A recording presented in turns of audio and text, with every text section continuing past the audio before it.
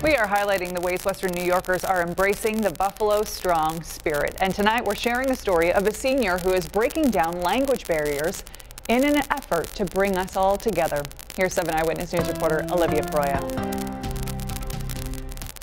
It was the most happiest moment in my life coming here, actually. Meet Sekuye Bolende, a super senior at Lafayette High School in Buffalo. She really um, established herself as a leader from day one gets along with kids from all of the different groups, um, really inquisitive. But she doesn't just focus on her own schoolwork. She helps translate lessons for English language learners. I always tell my classmates that I'm there for them if they need me or they have any questions. When school went remote back in March, things got more difficult. So she began making videos for her classmates. If a teacher sends you an assignment, explaining how to get their work done in English and a number of other languages. I speak five, five of them.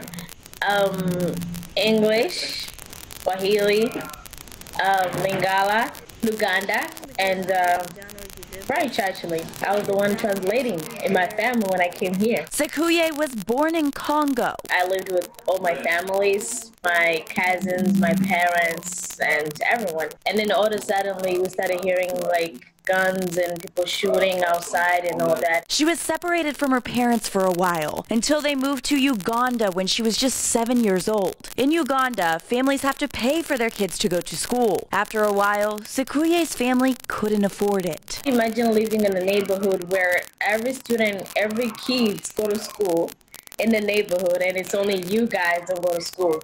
So that was actually the most sad. When she was 14 years old, her family moved to Buffalo. I felt really happy. It's just different than Africa. just, you know, it's more freedom. Everyone go to school and the government pays and all that. Now, Sekuye says she plans to stay here and pursue her dream of becoming a nurse. Passionate and the things I like doing is caring yeah, caring is the most thing I like doing, just like caring for my classmates. In Buffalo, Olivia Proia, 7 Eyewitness News.